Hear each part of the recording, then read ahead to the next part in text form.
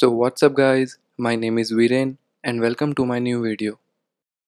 In this video, we are going to take a look on how to check battery health of your Mac in a very simple way. So let's begin.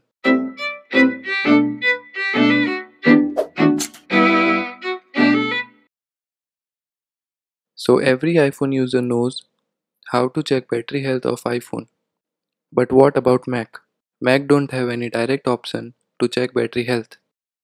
I will show you two ways to check battery health of your Mac. First is a quick way and second is detailed battery health. And most MacBooks have batteries that are rated for 1000 charge cycles.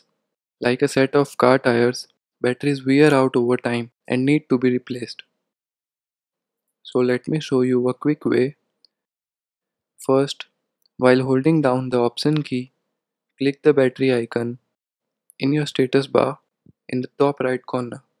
Your battery health will appear at the top as either normal, replace soon, replace now or service battery. This was the direct way to check battery health. And now if you wanna see more detail about the battery then click on the Apple logo in the left top corner of screen click about this Mac then select system report and from the left hand side click on power. You will find more specific about your battery cycle and battery condition.